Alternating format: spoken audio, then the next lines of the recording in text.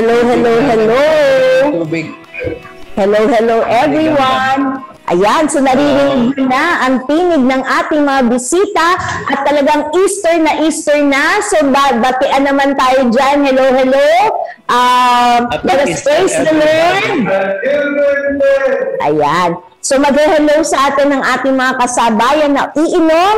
Walang iba ko si kundi si Monsignor Bert Espinilla. Hi, Monsi. Hi. Happy Easter to everybody. At Narinig ba ako? Yes po, maliwanag na maliwanag. So hindi halata na tayong ay galing sa siesta.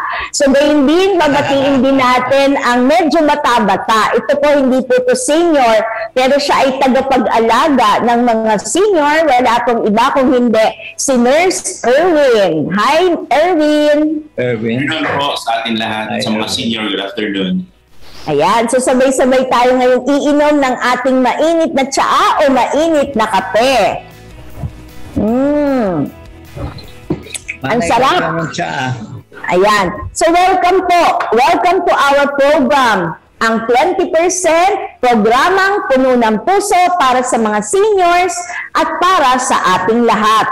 At kita niyo naman, maliwanag na maliwanag, no? Dito ngayon sa isang matindi at mainit na hapon kasi ang ating pag-uusapan for the whole month of May, nagsisimula pa lang po tayo. Welcome to our first Monday of May. So alam ko kayo ay nagsipag-celebrate ng kapistahan ni San Jose. Kaya nga ang bisita natin, si Monsi, alam po ninyo sa ating mga taga-subaybay, si Monsignor Roberto Espinilla, ang siyang parish priest po ng St. John the Worker Parish dito po sa Palanan, Makati. Siyempre po, no, ang mga parokya ng San Jose ay all over the Philippines at mismo sa Archdiocese of Manila, marami po yan. Pero hindi lang po yun ang kanyang pinagkakaabalahan. Si Monsignor din po ang pinaka-archdiocesan na leader o minister ng Corsilios in Christianity. Tama po ba, Monsignor? Batiin mo naman ang mga Corsilista natin. Oh, tama ho. Happy Easter sa lahat ng mga kursilista sa Archdiocese sa Manila, lalo na ang ating mga leaders sa bawat vicariate. Because nag-aan aming organization, sa meeting namin, bawat vicariate ay represented by one Cursilio leader. And of course, uh, they, I'm happy na we continue to be alive uh, even in the pandemic period. Amen. At hindi lang continues to be alive, kung hindi, patuloy pa rin si Monsi kahit senior citizen na, ay talagang go, go, go pa rin. So, Monsignor, ang gusto kong malaman, ilang taon ka na po sa pagpapari mo? Sa pagkapare, last December 21, ako po ay 50, na. Kalimutan ko na tuloy. Ano? 50 plus, 50 plus. 50 plus already. Senior, senior moment yan, Monsignor, no? Kaya Oo. maliwanag na maliwanag na senior na talaga. Pero ikagugulat po, Monsignor, na ating mga viewers. Ako, alam ko, ang iyong anniversary bilang pare, ito ay December 21, 1950 1957, 1965. Ibig sabihin, this year, ikaw po ay 57 years na na pare. That's right. Ano naman? Yeah. Yeah. Thank you, thank you. Kaya sisigaw tayong lahat. Praise the Lord! Ayan. So, Monsignor, yan ang unang question ko kaagad sa iyo. Ano ba ang mga bago mabura sa iyong alaala? Ano yung mga matitinding alaala mo sa loob ng 57 years of your priesthood?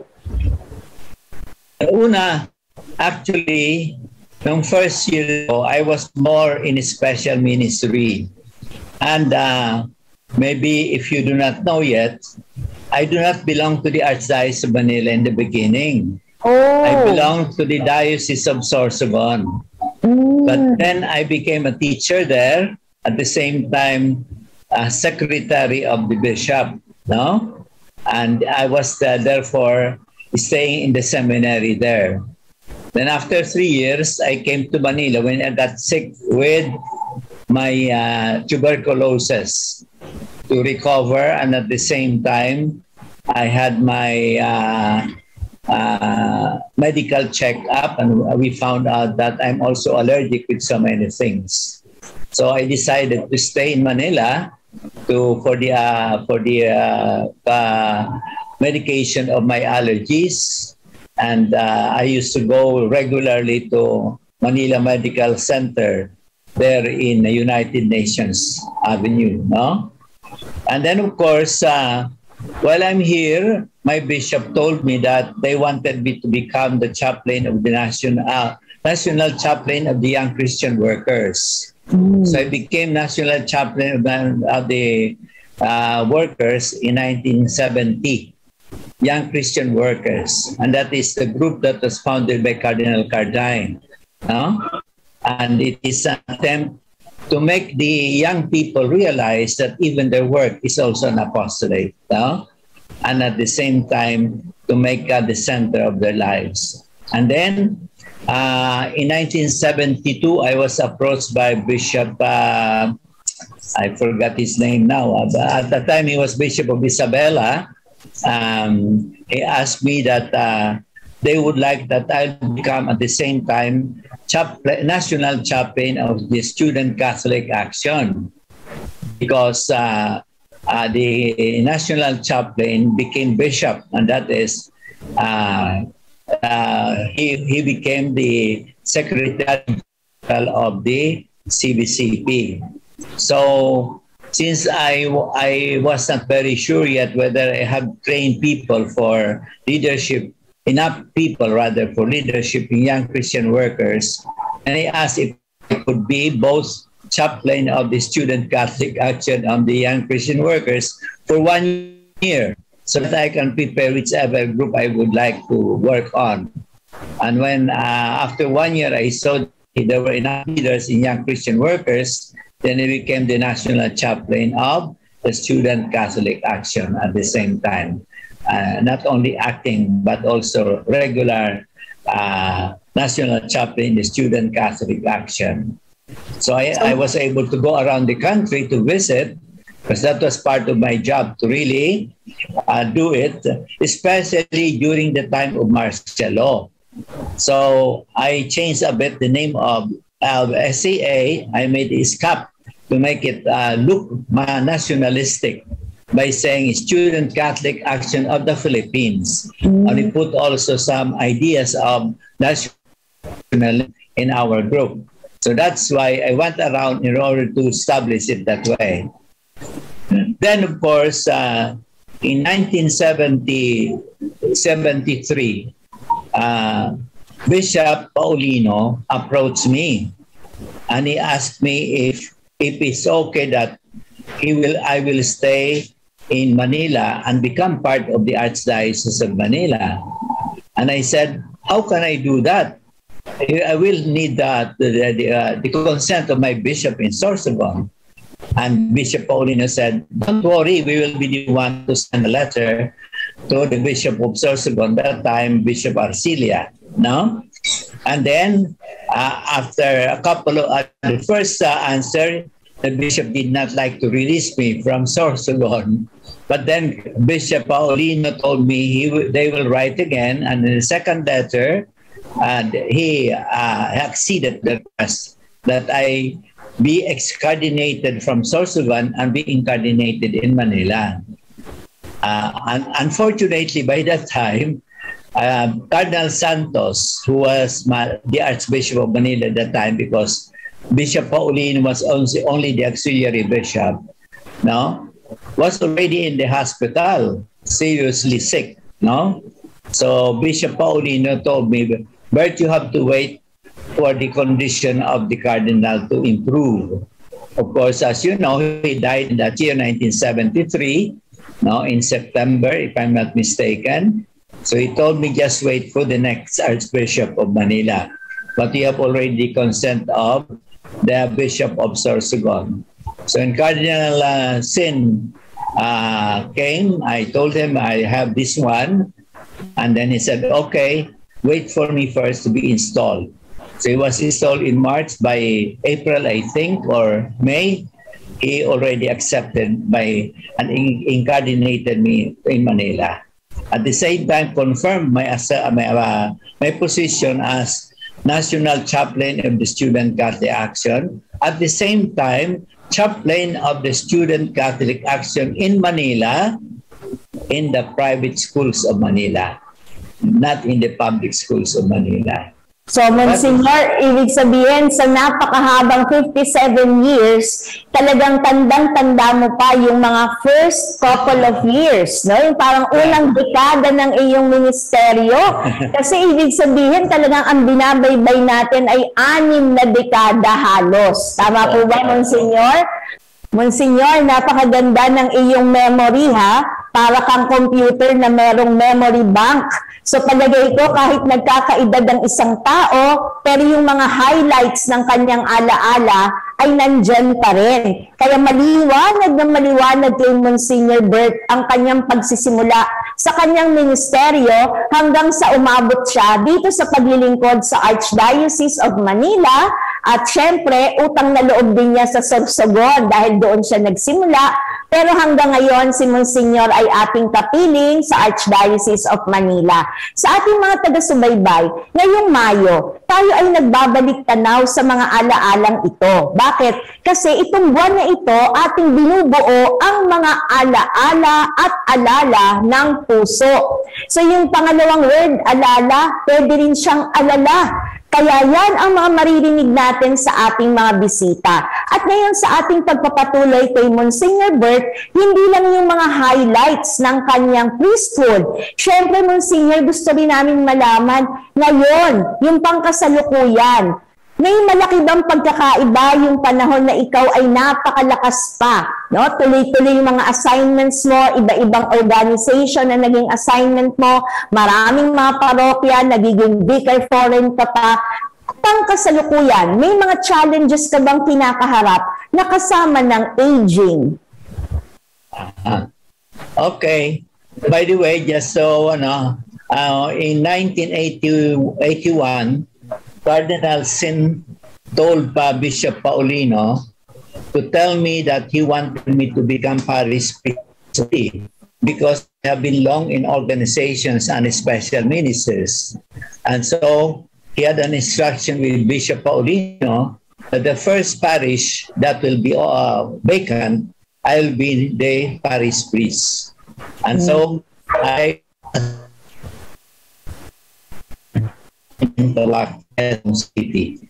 It's my first parish, St. Joseph the Worker. And then, of course, I went to other parishes. And then, uh, when I, uh, there was a time I went to, to Rome to be able to refresh my theology. At the same time, I think it was my 25th anniversary as priest, and I decided to have some kind of a renewal course. On, and uh, so I went on sabbatical year for one, uh, on one sabbatical year. That year, at the same time, for six months, I was in Rome doing my re- refresher course in theology and pastoral work. Then when I came back, then I was assigned in Quiapo as assistant parish priest. No? And after a couple of months, I was then assigned to Montinlupa, where I became parish priest. And from that time on, I have become parish priest in different places. And as you have mentioned, I became vicar foreign also in some of these uh, vicariates. No? Okay. Now, of course, the challenge is sometimes I uh, we we will have the challenge is how to be able to to sustain ourselves, no? And uh, I noticed now that there are times that you can forget things, no? And uh, I asked my doctor, what can I do? And he said, you take uh, this one, it is not a medicine, but it will be a help for your memory. And uh, it is some kind of a special, uh, I think the name is Stebunin, that uh, I take so that my memory will not really fail so much that I will forget many things. No, so I, that's, that has helped me. Now, in my present work, of course, when I reached 75, I asked Cardinal Tagle whether I am going to be already retired. And uh, Cardinal Tagle told me, a bird is strong. Sige pa. Ano? So that's why after, at the age of 75, he told me to continue until I was assigned here. I was uh, by that time already assigned here in this parish of St. Joseph. That is when I was 75, uh, before 75 years old. And so um, it so happened also during that time, Cardinal Tagle decided to have a definite term for parish priests and for other positions, and that is every six years is the term of parish priest. So we suppose already be reshuffled last year, which is the sixth year, because that happened in 19, uh, 2015. Cardinal that decision. So we're supposed to have already our reshuffling last year, but then when we asked Cardinal uh, Advincula, then he said, well, I am new. Let me first know, know the place. Let me first know my priest. So he said, give me six months to one year before I make the reshuffling. So that is what we are all waiting for. So that is the present situation. Now, so my challenge is at the same time, I am, as you said, the spiritual director or advisor of the Corsillo in the Archdiocese of Manila. And about one or two years ago, uh, Archbishop, uh, uh, the Archbishop of uh, Davao that time, uh, the, was the president of the CBCP. And he also appointed me now as the national chaplain of the Corsillo movement. No? So I am holding two positions in the Corsillo, Archdiocesan and National. And uh, for your information and maybe for the information of those who are interested to join, we will have the second national priest encounter to update no the Corsillo in the Philippines to the present development of Corsillo in the whole world. That's why the uh, national international advisor, a certain uh, archbishop in, in uh, Mexico, plus the president, I think, of that area, is coming here on June, no, to June 6 to, to 11 to be one of our speakers.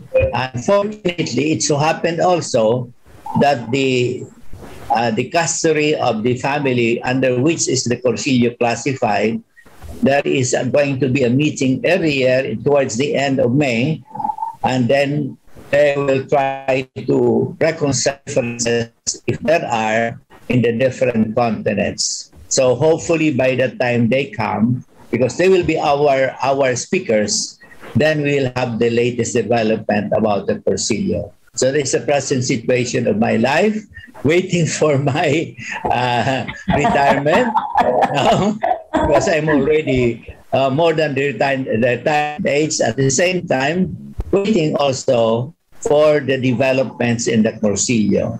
So, and I have asked Bishop Ambo, who is now the new president of the CBCP, uh, what in my appointment there was no clear term. So he said, "You just write us, and we will see what we can do about it." But he said to me, "We might still appoint you as the national advisor of the Corsillo movement." So that's the situation. I am waiting, waiting. Whatever is my, uh, the, whatever the challenges that faces me at this age. Thank you, Dr. Against. Thank you, Erin. So congratulations, Monsignor Bert. Ah. Talagang may congratulatory note because you have been persevering all your 57 years as a priest. Kaya nakakatuwa ho kasi kahit beyond uh, 75 si Monsignor, nagpapatuloy actively sa kanyang ministry. Kaya ang ating mga taga-subaybay, dapat active na active pa rin ho kayo kung ikaw ay lola, kung ikaw ay lolo, patuloy pa rin maging active kung ano yung iyong kinakaharapang kasalukuyan. Tignan niyo si Monsignor Monsignor talagang parang walang pahinga, no? Tuloy-tuloy pa rin kasi wala sa age, talagang nandun sa kanyang perseverance. Thank you Monsignor Bert Espinilla. At ngayon nabanggit din ni Monsignor Bert na meron siyang iniinom na gamot na ibig sabihin pampa-enhance ng memory. Sa palagay ko ngayon naman magandang uh, pag-usapan yung mga tao naman na kahit hindi pa senior pero nag-aalaga naman ng senior. Dadako naman tayo ngayon sa ating nurse, ang tagapag-alaga ng mga nagkakaedad at may mga karamdaman, si Nurse Erwin. Hi Nurse Erwin! Hi, good afternoon. Ayan. So ngayon ha, syempre, kailangan ko namang marinig. Kumusta ba ang iyong karanasan naman pag ang inaalagaan mo ay katulad nila Monsignor Bert? Pero si Monsignor Bert, wala pang tagapag-alaga eh, no? Kumusta ba, Erwin? Uh, so far, uh, okay naman. May mga challenges like yung uh, makukulit, ganyan. Talagang yun ang unang word mo ha, makukulit. So ibig sabihin, tayong lahat na nagkakaedad ha, talagang uh, kasama dyan yung nagiging makulit. Kasi nagiging paulit-ulit kami dahil uh, nakakalimot kami. Erwin, ganun ba ang karanasan mo pagka matanda ang iyong alaga? Yes po. Binangarap mo ba talagang maging tagapag-alaga na matatanda? Ano ba yung naging pangarap mo nung bata ka? Uh, I have a great, uh, uh, to tell briefly about my childhood, I have a great memories of my childhood. I was very active and I, I always wanted to play outdoors. I love sports. I love basketball. And every Sunday we make it sure to hear a mass and uh, eat with my family.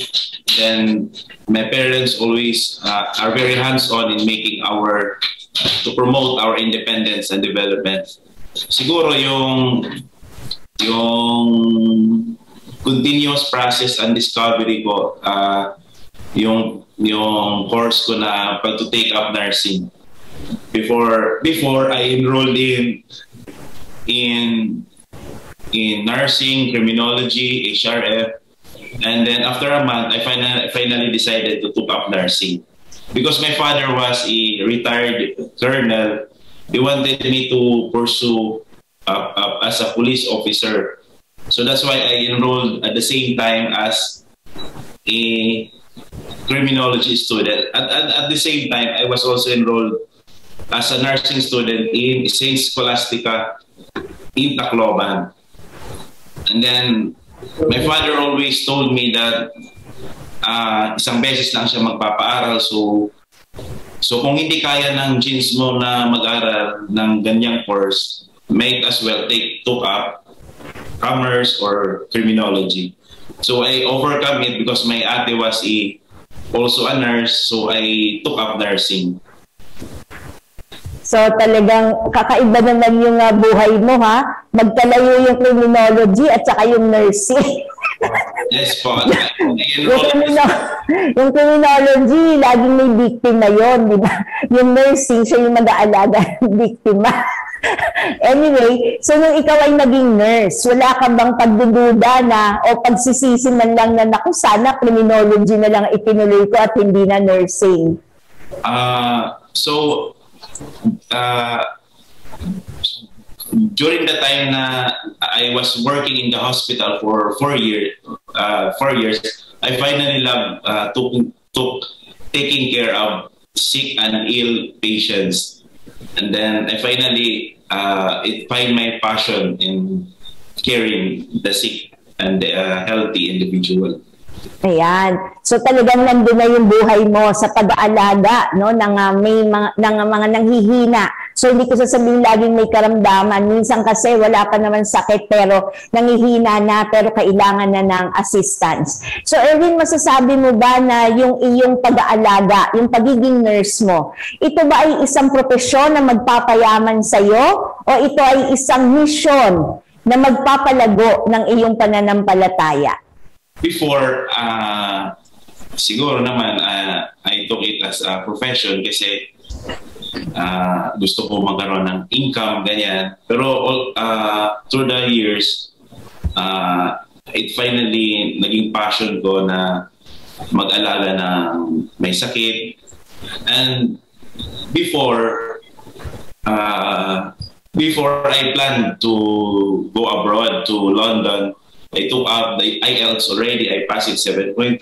And then I applied for for for private duty nursing and then and then I I started to love taking care of uh, sick sick adults. Before before my I wanted to, to take care of my mother, but due to that I have a work, I, I was not able to, to take care of my mother. So Erwin, paano ka naman napunta sa pag-aalaga ng mga alagad ng simbahan o alagad ni Kristo? Uh, I had a classmate who was working as a, a caregiver in Baclaran who was, who is, who is taking care of a sick priest and then he uh, then and, and then I applied also to to take care and then I was assigned here in Bahay Pari. Ayun. So, parang uh, double na yung iyong misyon. Hindi ka lang basta nurse na nag-aalaga ng mga may karamdaman at uh, mga nangihina. Tapos ngayon, inaalagaan mo pa ang mga nag-aalaga sa kaluluwa ng tao. So, babalik ako ngayon kay Monsignor. Monsignor, hello.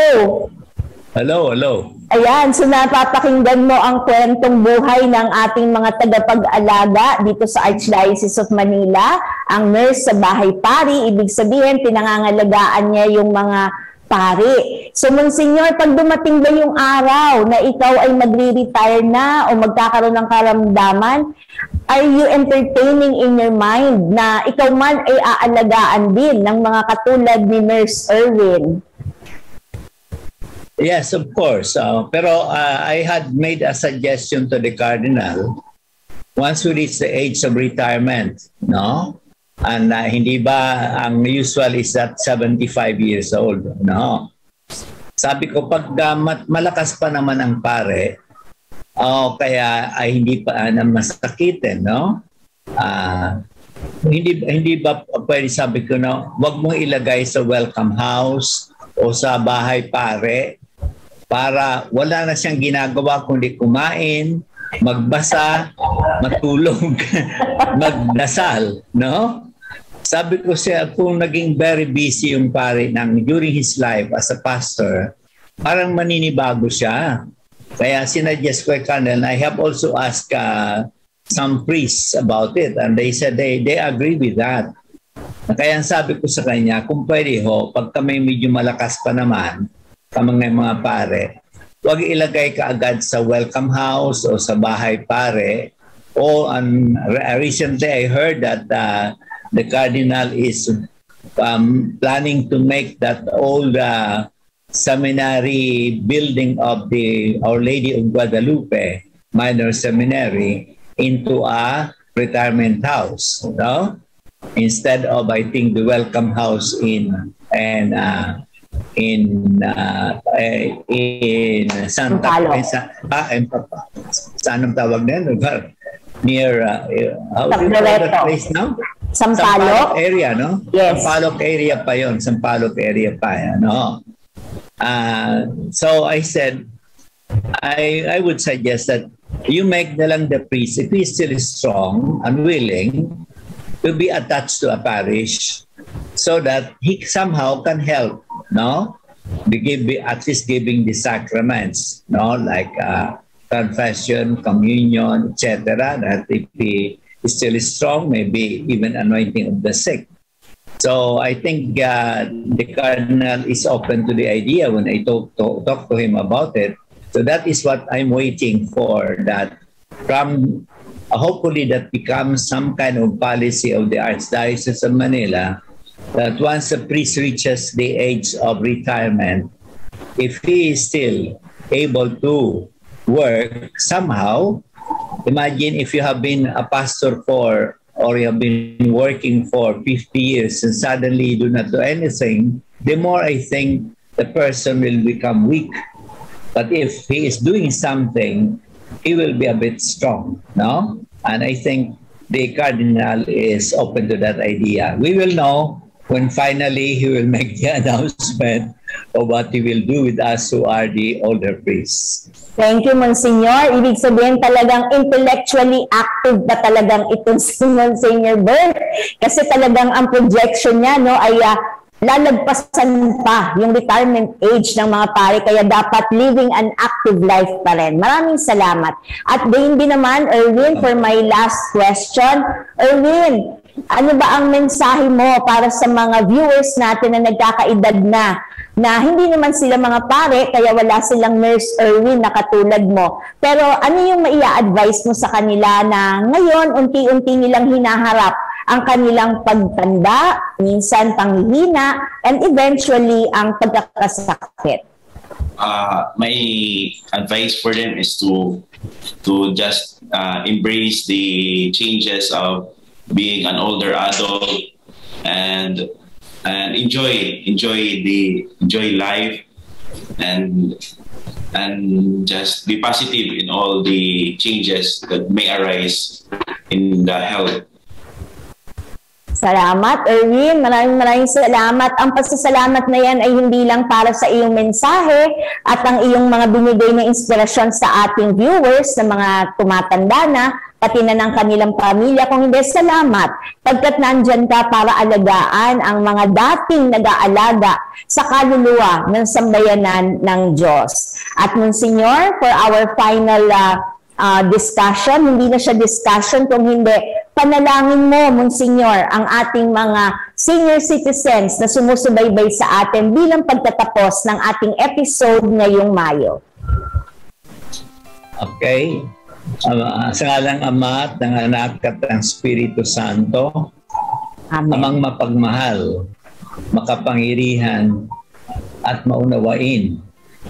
Sana'y gabayan mo kami lahat, lalo na kami nakatatanda, upang patuloy kami nagtitiwala sa iyong pagmamahal, sa iyong mga biyaya, na manatili kaming matatag sa paglilingkod sa iyo sa anumang paraan sang-ayon sa aming pakakayahan.